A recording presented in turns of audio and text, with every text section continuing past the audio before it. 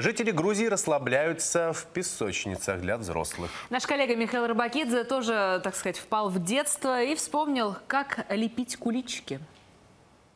Песочница, много игрушек, цветные рисунки – это не ясли и не детский сад. На занятиях по песочной терапии взрослые люди. Их задача – научиться понимать себя и окружающих, преодолеть комплексы и обрести уверенность. Истина в песке, считает доктор медицинских наук Этери Филиппович. Абстрагируясь от действительности, взрослые моделируют при помощи песка и игрушек свои проблемы.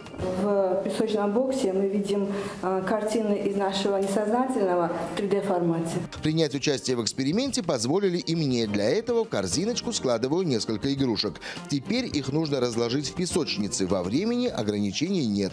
И вот результат. Этот человек э, в настоящее время настроен на то, чтобы планировать себя, чтобы быть сильным сильным, но не агрессивным. А вот Нино Бендельяни на первом занятии строила заборы. И не случайно девушка боялась новых встреч и знакомств. Краснела на собеседованиях, на которые приходилось ходить в поисках работы. Скромность и нерешительность были главными врагами и начинающего экономиста Владимира Хуцешвили.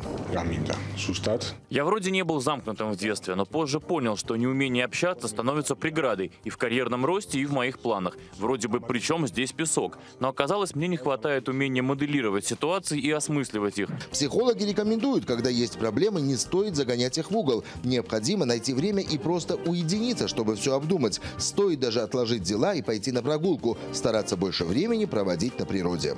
Михаил Рубакидзах, Вячеслав Мадашвили, Мир 24.